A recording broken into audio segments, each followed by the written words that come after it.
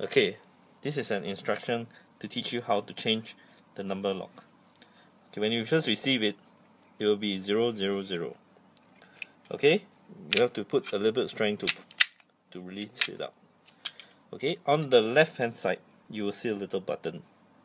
Okay put in your thumb and press fully all the way in.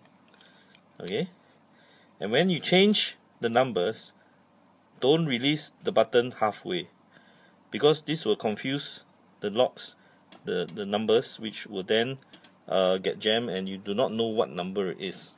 So all the time press it all the way until you finish the number that you want. So let's try to do the number 2 4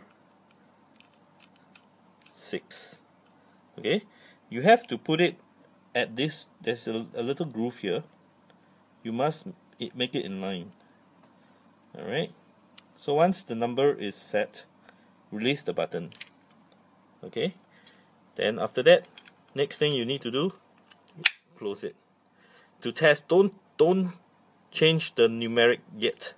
Do a test to see if it's easy to pull out and pull in again. Okay? Don't change anything here. Give it a few tries. Okay? Because if it is not done properly you won't even be able to close it back. Okay once it's done try to mess up the numbers. Okay and you realize that it's locked. Okay it can't be open. You can't even press in. Okay then when you start to go back to your numbers to release it okay must be in the groove together when in line. And you see there you can press in. And you can open it up. Okay? Thank you